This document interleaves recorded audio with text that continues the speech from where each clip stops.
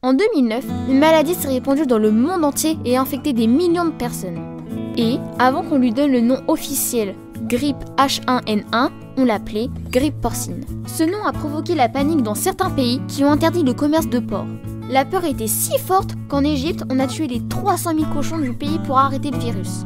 Le truc, bah, même si à l'origine, ce virus a bien des arrière-grands-parents qui infectaient les cochons, en 2009, il ne se transmettait qu'entre humains et pas entre cochons et humains. Mais comme on lui avait donné le nom grippe porcine, pour la majorité des gens, les cochons devaient être coupables. Et attention, les porcs n'ont pas été les premières victimes innocentes d'un nom mal choisi. Historiquement, on nommait les virus en fonction de groupes de gens ou d'endroits qui étaient touchés, ce qui provoquait la peur et la stigmatisation de ces gens ou de ces régions. Et pourtant, les comportements de foule paniquée ont été totalement inutiles pour éviter la dissémination de ces maladies. Pour éviter les soucis avec des groupes de gens, des régions et les cochons, en 2015, l'Organisation mondiale de la santé a rédigé un guide à suivre pour nommer les maladies dès qu'elles sont découvertes. Ces noms ne doivent pas être en rapport avec des gens, des régions, des animaux, de la nourriture ou un métier. Et on évite aussi des noms qui peuvent faire peur aux gens, du style inconnu ou fatal. À la place, on doit utiliser une description objective de la maladie, comme les symptômes, la gravité, la saison et si on la connaît, la famille auquel le microbe appartient. Ah oui aussi, on essaye d'avoir un nom prononçable facilement.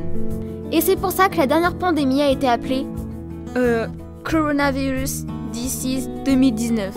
Ouais bon, on va abréger en Covid-19 pour ce virus en forme de couronne qui est apparu en 2019.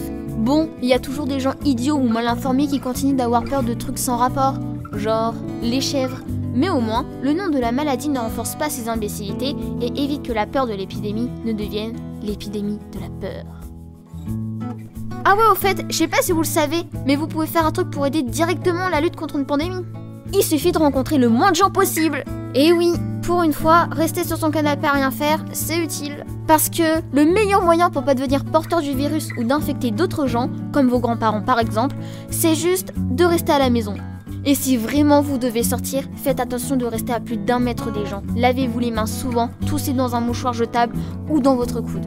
Mais bon, il y a déjà pas mal de choses à faire à la maison comme regarder les vidéos de notre chaîne par exemple.